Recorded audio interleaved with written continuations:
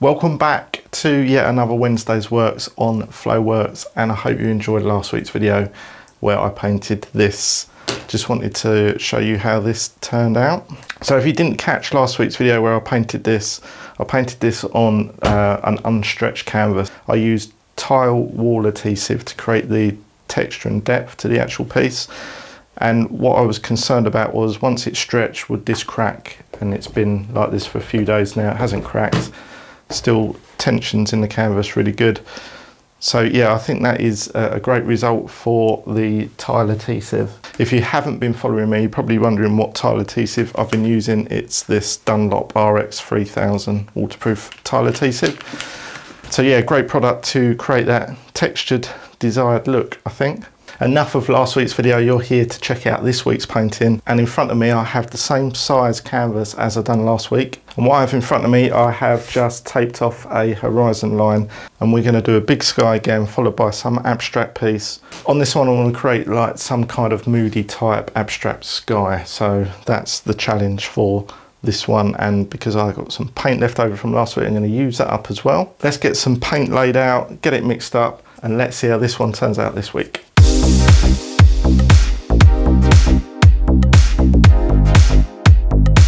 I thought I'd make life a little bit easier for me today because it's not an actual stretch canvas yet. I've just bent it over the edge of the table.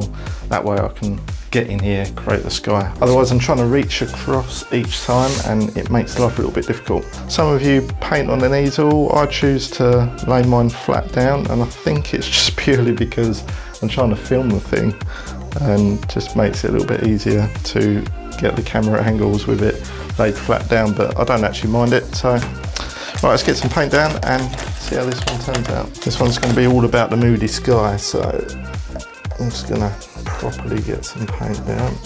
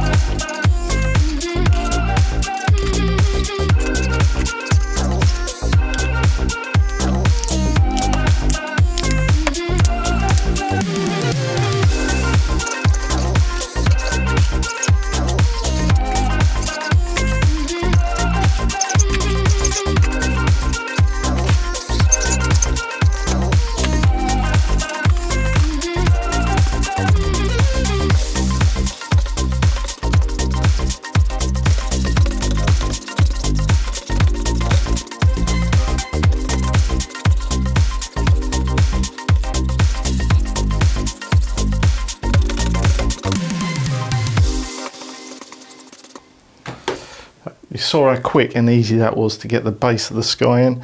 Now it's all about sort of blending it and turning it into a bit of a sky. And this is where you can be as abstract as you want. You could either leave this and think, yeah, that that's going to do for me, or you can start blending it a bit more. So just a dry brush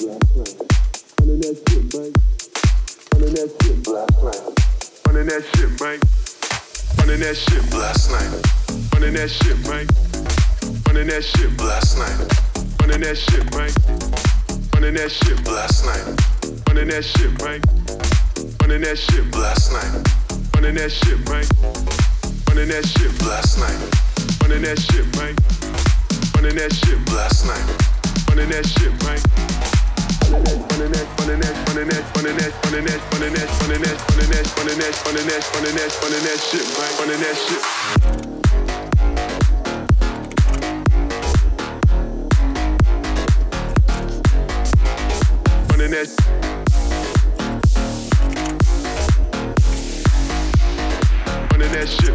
Running that. Running that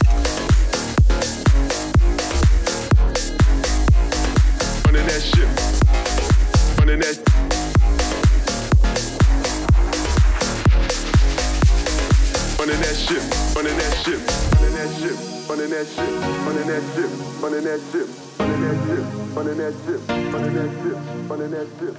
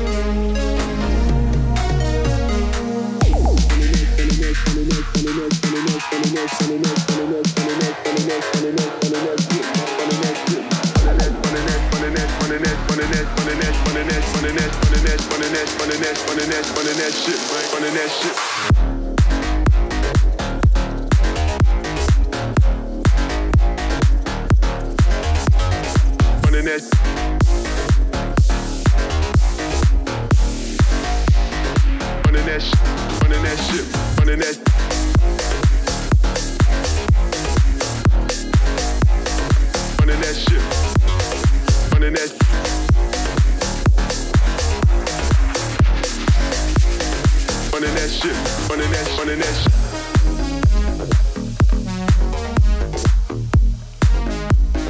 running that shit, running that shit,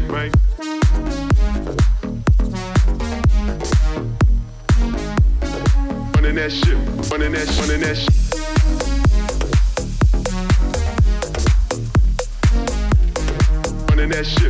that shit.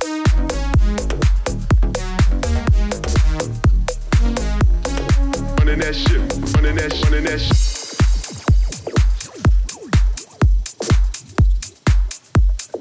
Running that shit, running that.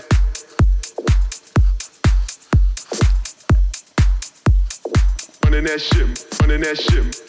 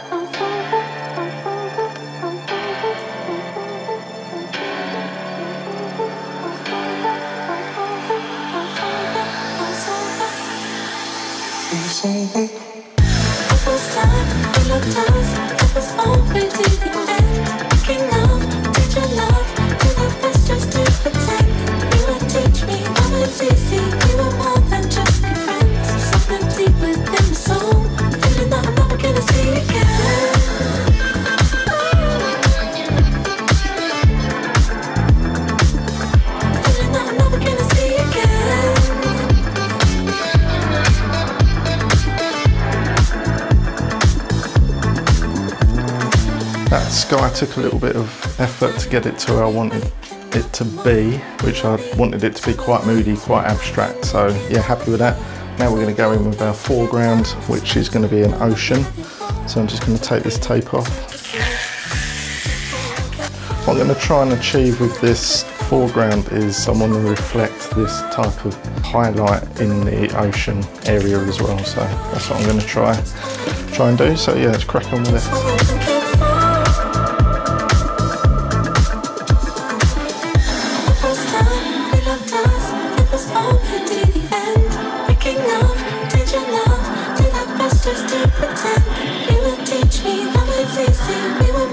just friends. Something deep within the soul.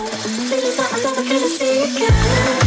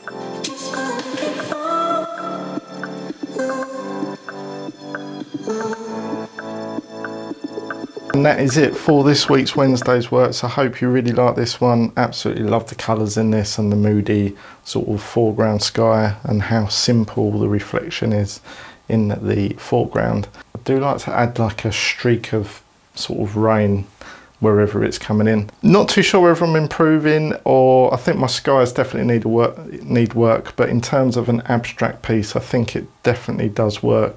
I always think of abstract as when you're looking at it, if you squint your eyes quite a lot, you can really sort of see a painting come to life. I hope you've enjoyed this one as much as I have enjoyed painting it with you guys and thanks for sticking around to the end of this one.